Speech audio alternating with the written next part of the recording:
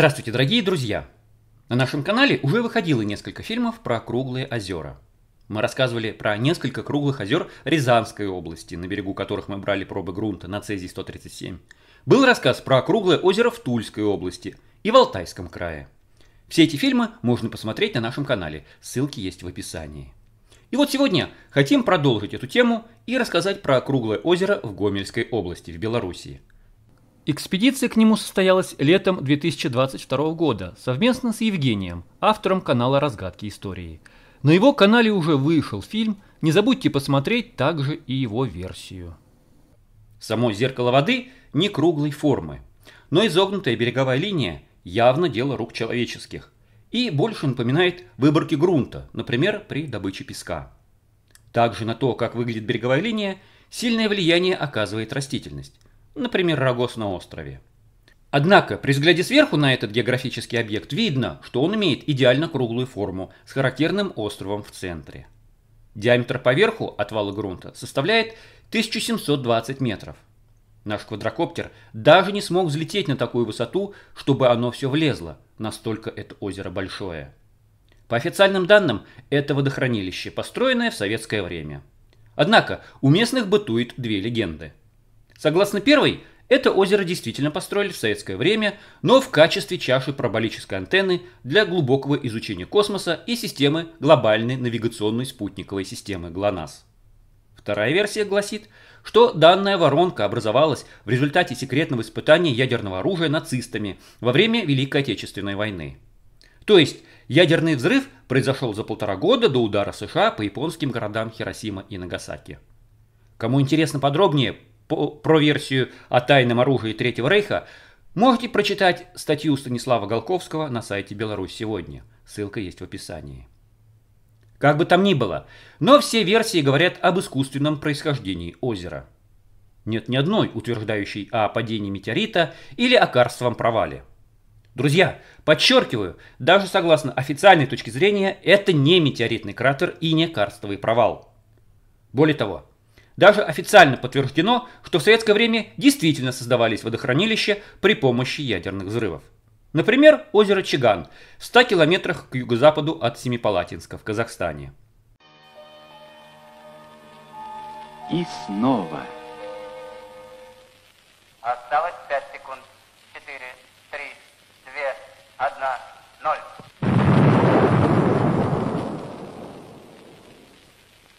Подземный ядерный взрыв становится созидателем, строителем искусственного водохранилища.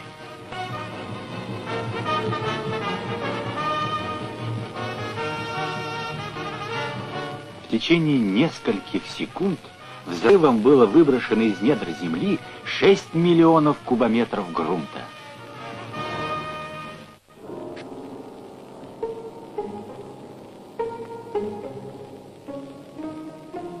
Образовалась огромная воронка, но будущего озера –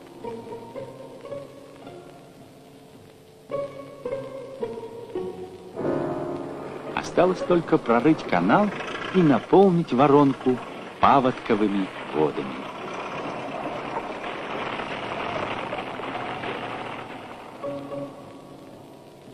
И они пришли.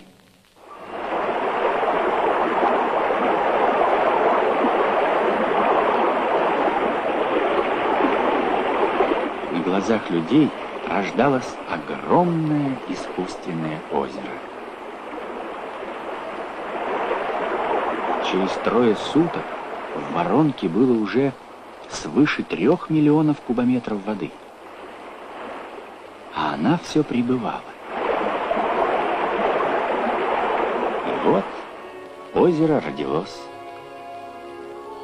Вскоре гидрологи и медики установили, что вода озера совершенно безопасна в радиационном отношении и вполне пригодна для орошения полей.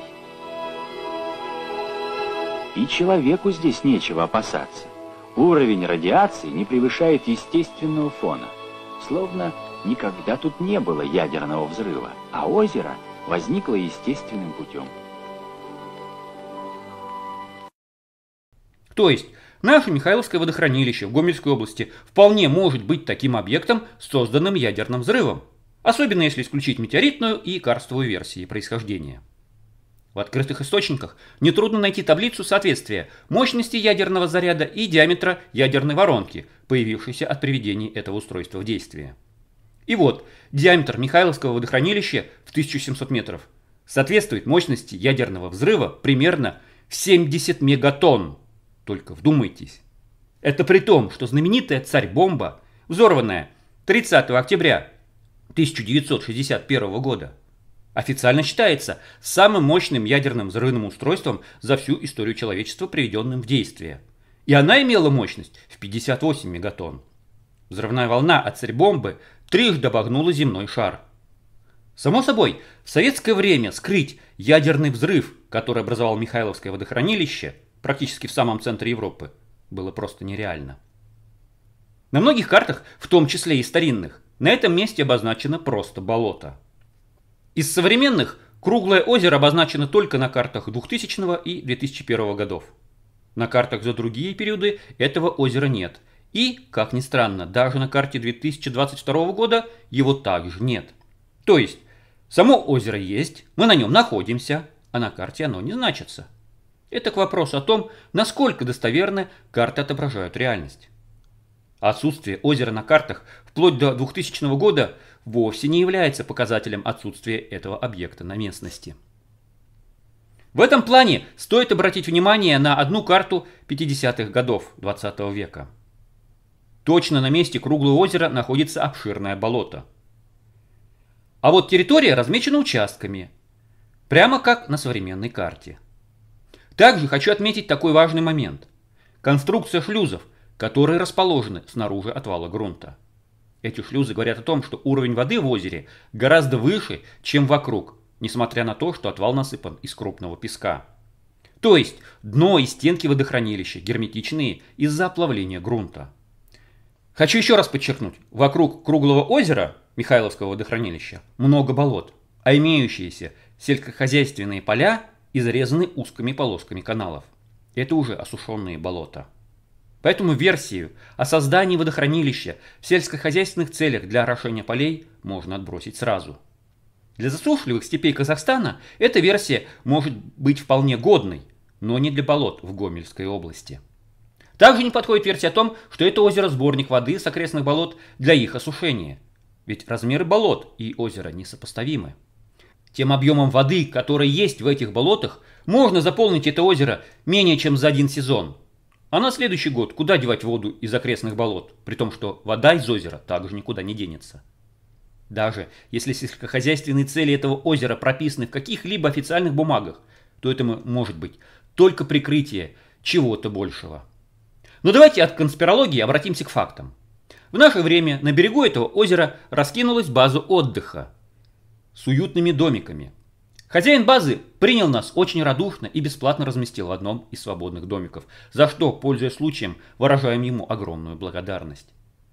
Повсюду песок, причем так называемый речной песок, крупной фракции.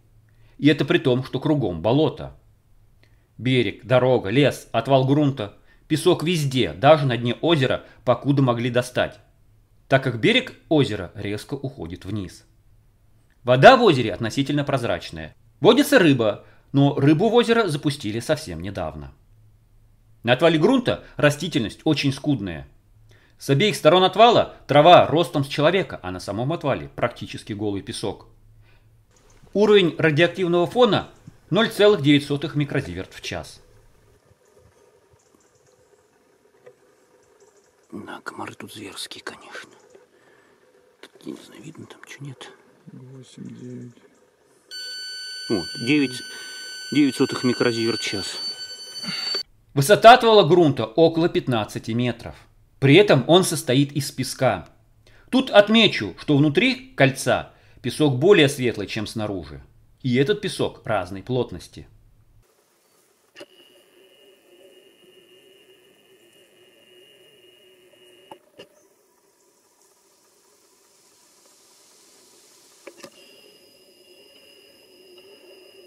На этих кадрах отчетливо видно, что при переделке озера в водохранилище слой песка на отвале был нарушен. То есть слои были перемешаны. Здесь поддержу официальную точку зрения в том плане, что этот песок насыпной. Но с той лишь разницей, что насыпали его не люди, копая водохранилище, а кумулятивная струя взрыва, поднявшая этот песок в воздух. Сравнивая Михайловское водохранилище в Гомельской области с тем же озером Чиган в Казахстане, мы видим много общего, за исключением разве что уровня радиации и островка в центре. Воронка озера Чиган образовалась в результате подземного ядерного взрыва, а воронка Михайловского водохранилища, судя по острову в так называемой зоне подсоса, образовалась в результате наземного ядерного взрыва. И тут начинается самое интересное. Друзья, постарайтесь проследить дальнейшую мысль. Для создания воронки, которая впоследствии станет озером Чиган, было специально разработано взрывное устройство уровня частоты в 94%. То есть 94% энергии взрыва обеспечивалось реакциями термоядерного синтеза, не дающего радиоактивных продуктов. По крайней мере, так утверждает официальная информация по озеру Чиган. 15 января 1965 года на глубине 178 метров был произведен подземный ядерный взрыв, и мощность взрывного устройства составила 170 килотонн. В настоящее время диаметр воронки озера Чиган составляет 580 метров по отвалу грунта. При этом в первые месяцы после взрыва повышенный радиационный фон был именно на отвале, в то время как на дне воронки еще до заполнения ее водой уровень радиации хоть и был повышенный, но он был гораздо ниже, чем на отвале грунта. В настоящее время, спустя 60 лет после ядерного взрыва, озеро Чиган внесено в список местностей, особо сильных пострадавших от ядерных испытаний. Вокруг озера до сих пор сильно повышенный уровень радиации.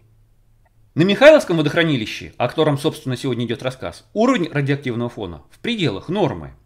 Такое возможно только в одном случае. Ядерный взрыв был гораздо раньше, чем 60 лет назад. Настолько раньше, что прошло уже несколько периодов полураспада. Немаловажно будет отметить еще такой момент, как мощность взрыва. Существует простая закономерность, что чем выше мощность заряда, тем больше диаметр воронки и тем меньше остаточная радиация и более короткий срок она держится. Для зрителей, далеких от ядерной физики, позвольте буквально в двух словах пояснить, почему важно это понять. Период полураспада – это условное определение, показывающее, за какой промежуток времени в результате ядерной реакции распада количество вещества уменьшается вдвое. Собственно, потому он так и называется – Период полураспада, например, у цезия-137, примерно 30 лет. Йода-131 около 8 суток. Подчеркиваю, полураспада, а не полного разложения. Это значит, что от условного килограмма цезия-137 через 30 лет останется полкило. Еще через 30 лет 250 грамм. Еще через 30 лет 125 грамм. И так далее. Каждые 30 лет количество вещества будет уменьшаться в два раза. Таким образом, через 180 лет от условного килограмма останется около 15 грамм. Цифры абсолютно условные, просто для простоты понимания того, что через 200 лет радиоактивный остаток найти очень даже реально, но не дозиметром, а в изотопной лаборатории. Естественно, помимо цезия на месте ядерного взрыва будут присутствовать и другие продукты ядерного распада и остатки самого ядерного топлива, но все они имеют свои периоды полураспада. Например, период полураспада урана-235 составляет 703 миллиона лет. Плутония-244 – 80 миллионов лет. Но тут нужно понимать, что чем выше мощность ядерного заряда, тем большее количество исходного вещества уступает вступить в реакцию. А высокий уровень радиации сразу после взрыва держат именно продукты распада урана и плутония, которые в основном короткоживущие. Примеры с техногенными ядерными авариями типа Чернобыля или Фукусимы не подходит, ибо там раскидано в основном именно ядерное топливо, которое будет фонить эти самые миллионы лет. Таким образом, спустя 200 лет после взрыва радиоактивный фон на месте ядерного взрыва вполне может быть в пределах нормы, разве только немного выше по сравнению с окружающей местностью. И вот эту разницу и нужно искать. А обнаружить следы ядерного взрыва в большинстве случаев можно только в изотопной лаборатории.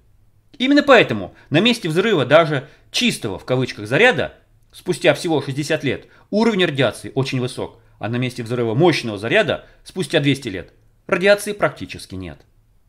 Подведем итог. Михайловское водохранилище не является карстовым провалом или метеоритным кратером. Оно полностью искусственный объект с герметичным дном и стенками, однако не является частью системы орошения или мелиорации полей. Его отсутствие на картах вплоть до 2000 года вовсе не является показателем отсутствия этого объекта на местности. Это водохранилище не было создано в советское время ядерным взрывом, хотя единственное, что могло его создать, это именно ядерный взрыв. Таким образом, судя по уровню радиации и размерам, мы можем сделать примерный вывод о мощности ядерного взрыва и времени, как давно он был. Вот такая вот простая аналитика. И вот он, этот вывал. И здесь просто песочек. То есть вот откуда мы пришли, вот оттуда. Там видно трава, трава, трава, прям по пояс. И здесь сразу начинается вот этот вот песок. Вот он он. То есть это тупо песок. О. Просто песок. Причем радиации здесь никакой нету. Жень, ты от меня далеко с дозиметром не уходи. Я до тебя как пойду? Друзья, но это еще не все. Впереди много интересного, поэтому я с вами не прощаюсь. Благодарю за то, что досмотрели до конца. Всего вам доброго, до скорых встреч!